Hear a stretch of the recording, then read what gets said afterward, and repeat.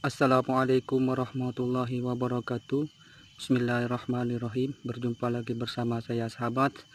Uh, Di video kali ini uh, Saya ingin berbagi uh, Bagaimana tata cara memasang egrek Dengan menggunakan gagang kayu.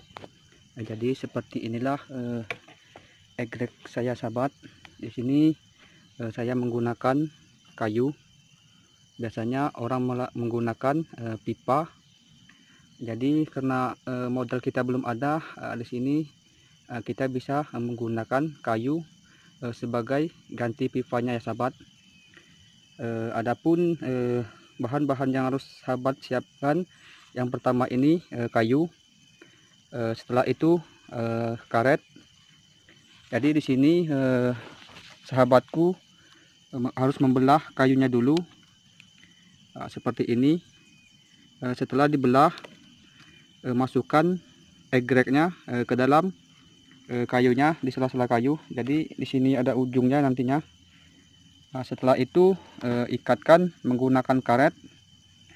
E, jadi e, sangat simpel sekali ya sahabat. E, nanti kalau sahabat e, di kebun e, egreknya patah e, sahabatku bisa e, menggunakan e, cara ini. Untuk meneruskan pekerjaan sahabat. Jangan sampai e, pekerjaannya nanti bisa terhambat. Jadi di sini banyak sekali alternatif yang bisa kita gunakan. Ini panjangnya sekitar e, 6 meter. 6 meter. Jadi inilah nanti sawit yang akan kita panen. Ini e, cukup lumayan tinggi ya sahabat. E, kalau kita lihat dari e, batang sawitnya ini sudah lama saya menggunakan egrek eh, gagang kayu ini sahabat. Dan alhamdulillah pekerjaan pun eh, sangat mudah sekali. Karena pipa ini tidak di kayu eh, tidak licin eh, di saat kita eh, menarik buahnya nanti. Adapun eh, untuk menggunakan pipa biasanya ini licin. Jadi untuk kayu ini sangat-sangat tidak licin sekali ya sahabat Oke, eh, setelah kita ikat seperti ini sahabat, eh, terus langkah selanjutnya eh, kita mencoba untuk mengambil buah sawitnya. Di inilah hasil-hasil yang eh, buah sawit yang telah saya ambil. Kalau kita lihat di sini eh, dodosnya ini eh, semenjak saya membeli ini cuman dua kali saya mengasahnya. Uh, tapi cukup lumayan tajam lah untuk sekelas saya ini ya sahabat eh, jadi sambil eh, memanen sawit kita bisa berolahraga uh, untuk menariknya nanti butuh tenaga yang ekstra. Karena sawit eh, egernya ini eh, sudah terok sekali ini matanya ini. Oke langsung saja eh, kita melakukan pemanenannya. Uh, nampak ada buahnya. Oke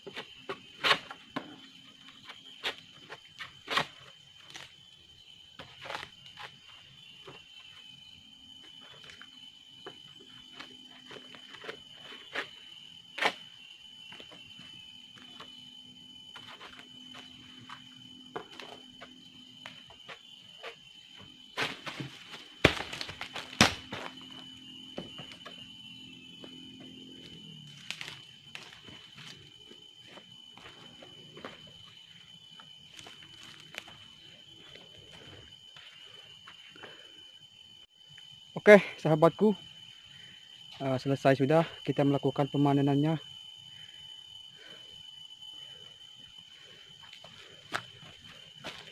Alhamdulillah.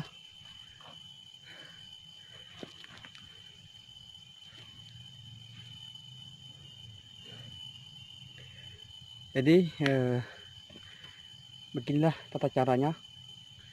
Uh, semoga apa-apa yang saya tayangkan ini uh, bisa bermanfaat buat sahabat-sahabatku yang ada di rumah uh, yang ingin mencoba dengan cara saya seperti ini.